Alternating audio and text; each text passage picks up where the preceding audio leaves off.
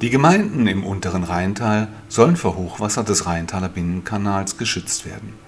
Hierzu wurde ein sektorübergreifendes integrales Wasserbauprojekt geplant. Neben dem Schutz vor dem Wasser beinhaltet das Projekt gleichwertig auch Maßnahmen zum Schutz und zur Nutzung des Wassers. Die wichtigsten Maßnahmen sind der Bau des Rückhalteraums Drei Brücken, umfassende Gerinneaufweitung im Rückhalteraum und direkt unterhalb, Entwässerungsmaßnahmen und Neubau des Pumpwerks, Ufererhöhung und Anpassung von Brücken, Aufwertung der Mündungsbereiche der Seitenbäche, verbesserte Zugänglichkeit und Erlebbarkeit des Rheintaler Binnenkanals. In-Stream-Maßnahmen mit Uferstrukturierung und Aufweitungen.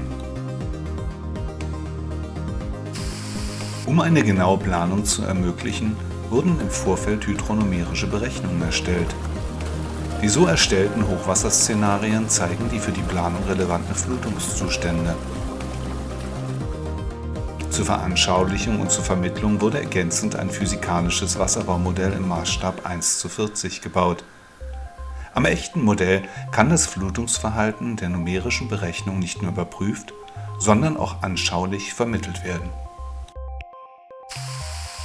Der geplante Rückhalteraum erstreckt sich über eine Fläche von rund 1,2 Millionen Quadratmetern.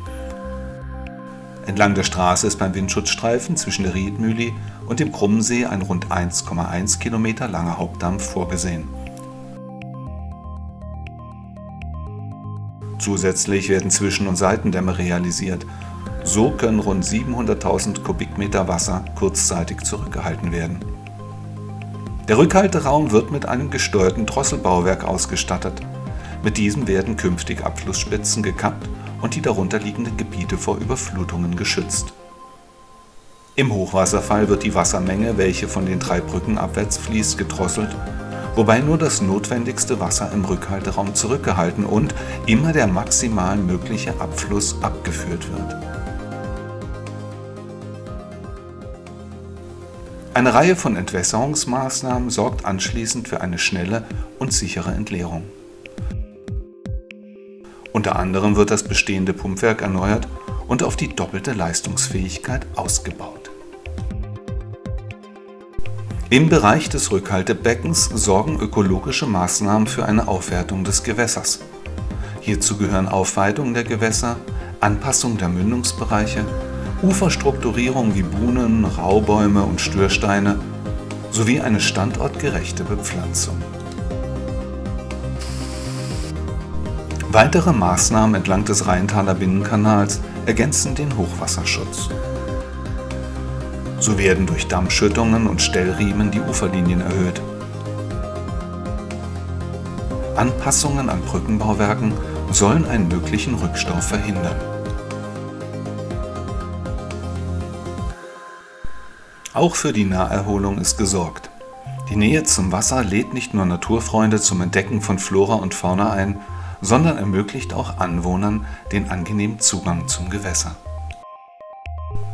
Sogenannte In-Stream-Maßnahmen weiter stromabwärts sorgen für eine Aufwertung und Verbesserung der heutigen monotonen Gewässersohle. Hierbei werden die Sohle und die Uferbereiche ökologischen Anforderungen angepasst.